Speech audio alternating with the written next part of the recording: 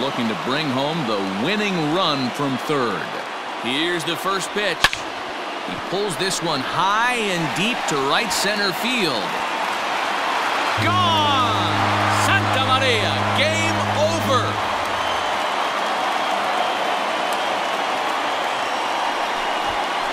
So one swing and he unloads the bases on that one. And with one swing of the bat, this ball game is over.